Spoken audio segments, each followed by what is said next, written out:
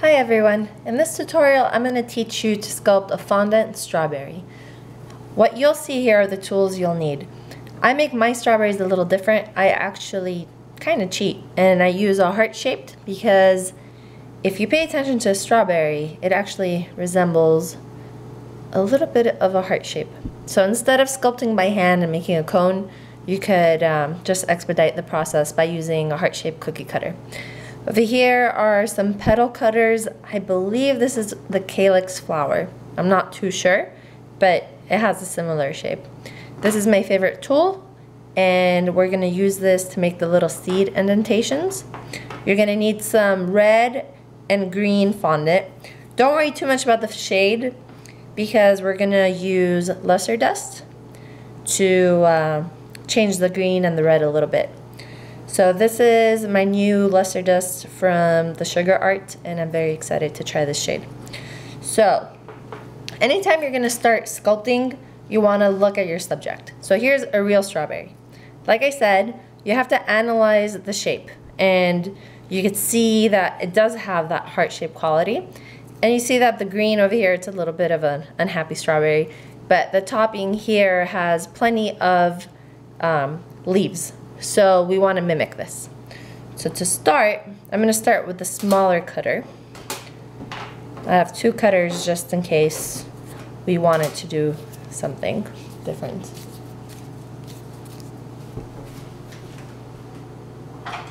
So begin by rolling out the fondant thick.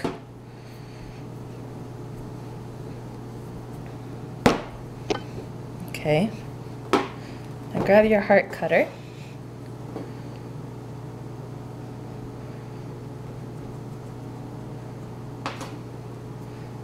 Now we just want to use the shape.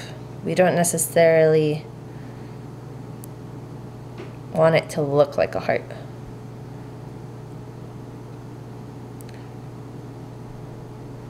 Okay, so then you're going to start shaping it, closing the back.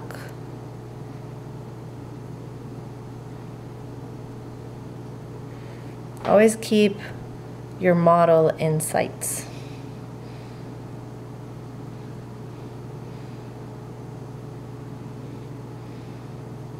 Okay, so over here, I'm gonna make two. This one I'm gonna keep kind of flat because sometimes you wanna put the fruit up against the cake and having a flat back is a little bit more helpful. So now I'm gonna make it a little bit more pointy here. A little bit flatter here.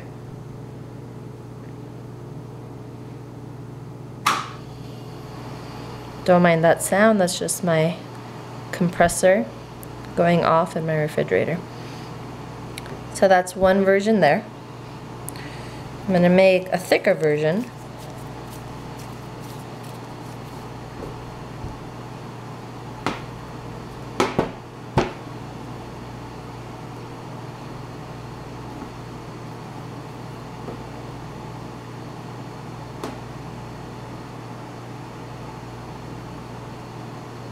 Again, we don't want it to look like a heart. We're just using the cutter to save time.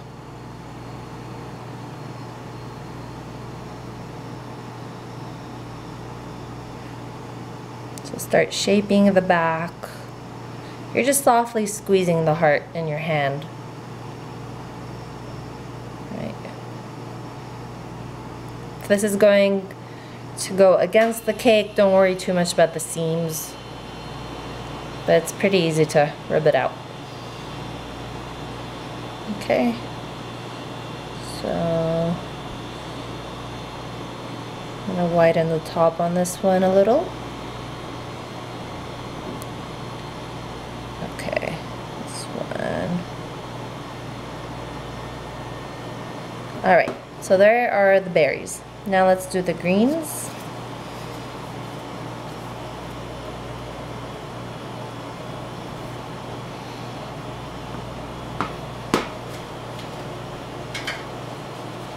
Okay, so we're gonna, I'm gonna try the small one for this one. I'm gonna try the small cutter for the both of them. pop it out. Okay, So you notice how this one has a lot of leaves and our cutter has just six, right? So you're gonna grab a scissor, you're just gonna snip them.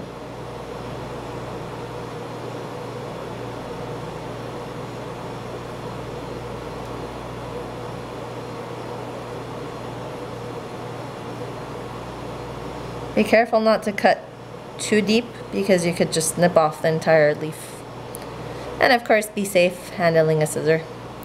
Alright, so now I'm going to squeeze some of these to give them more life and not just look cut out. So I'm just pinching them between my fingertips.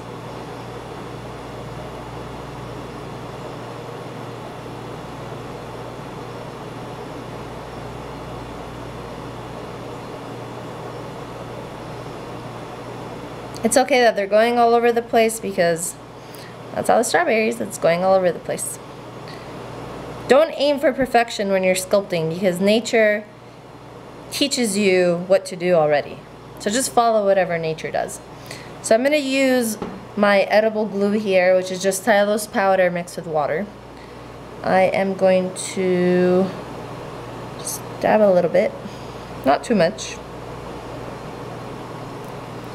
Apply it on berry number one. And once it's on the berry, you can start forming it however you want. I'm going to stretch them out a little bit more.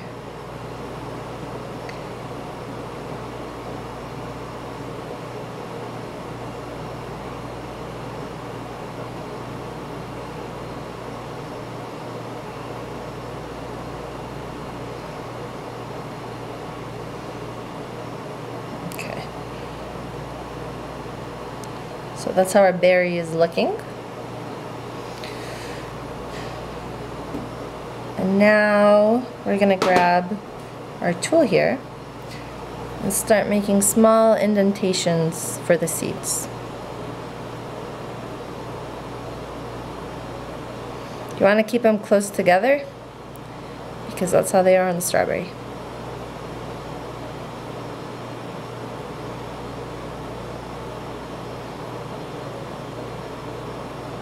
So you're dragging down, you're not just pulling in. You want to give a little bit of a shadow so that your eye, when it looks at this, it registers it as a seed. I am not going to put the little yellow seeds. I don't because that just takes way too much time. And you don't really need it. So you just have to create optical illusions for the eye and you could save yourself the hassle of making something realistic. Okay.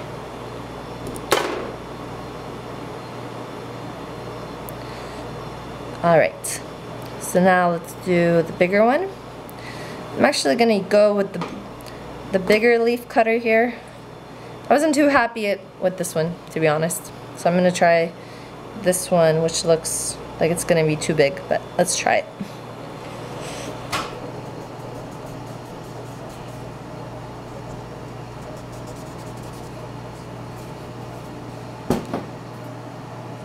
Okay, just make sure your cuts are clean.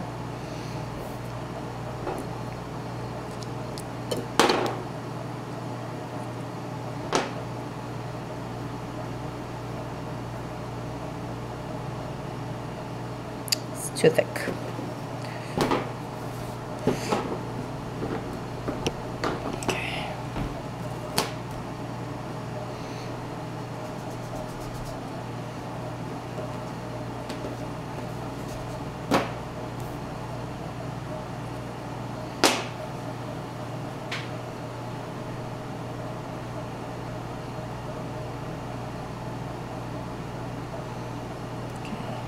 So this time I'm going to actually color this with luster dust so you can see the difference between the two berries.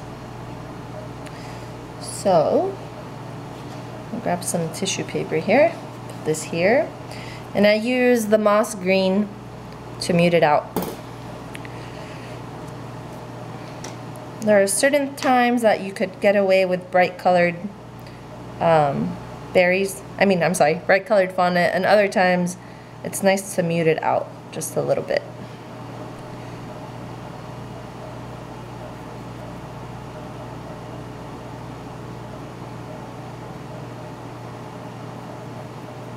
Okay. So I'm not going to get all of the sides because I want the shades of green to add depth. I'm a huge fan of depth. Okay, so now we're gonna snip this.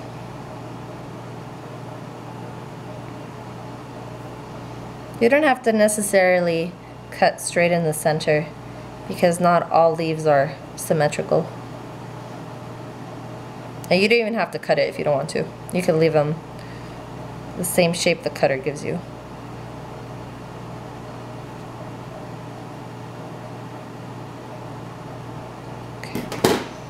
Again, I'm going to squeeze them.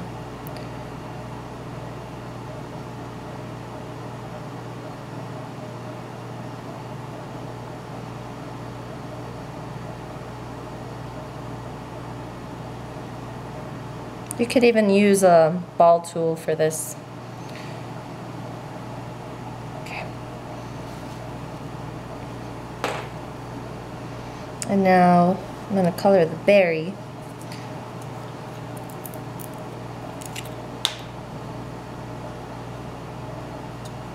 Brand new.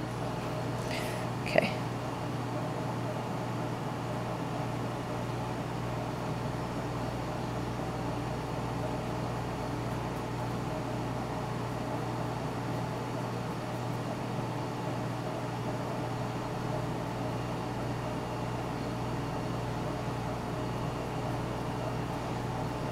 So luster dust is a very subtle, subtle change.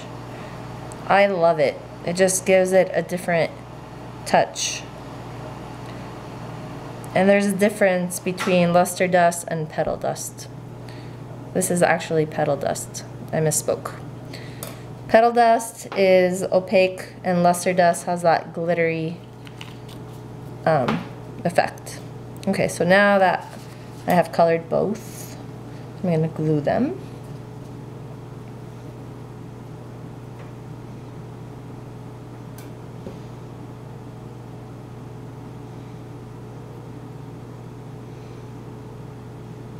Okay. And again, we're going to add our fake little seeds.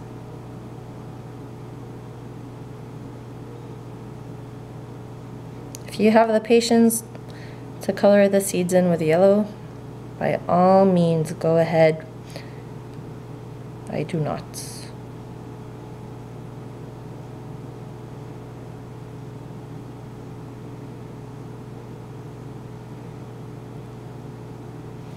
Okay. So here's the difference between the two.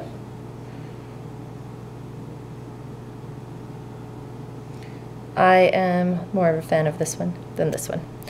And in comparison to our real strawberry,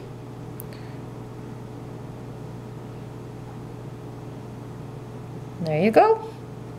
Now you know how to make a strawberry. Good luck.